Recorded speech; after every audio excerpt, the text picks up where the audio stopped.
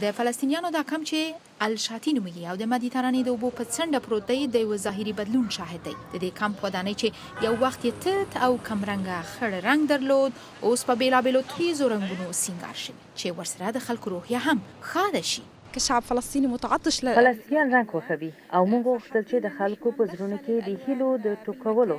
لپاره دا ځای په ښادو رنګونو سینګار کړو. دا کمپاین بهتره غزه نومیږي او موخه یې د خلکو په احساساتو کې د ښه بدلون راوستل، د یوه مثبت انځور وړاندې کول او له تاوتریخوالي څخه یې مخنیوی دی.